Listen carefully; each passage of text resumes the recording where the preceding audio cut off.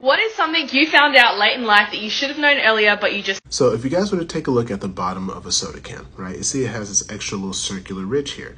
Now, obviously you need soda cans to have circular bottoms because it keeps the carbonation and the pressure how it is so that the soda can taste so good. However, when soda cans were created in 1958, they didn't look like this. You want to know why? Because these sodas are multi-purposeful, meaning that you can stack one on top of the other and use it to open the other soda, right? There's, there's not a coincidence why they all stack so perfectly on top of each other. You can use a soda to open another soda, meaning if you just got your nails done, you don't want to mess them up, or it, it hurts your fingers to try to open them by themselves, just take a soda, put it on top, and open it with another soda.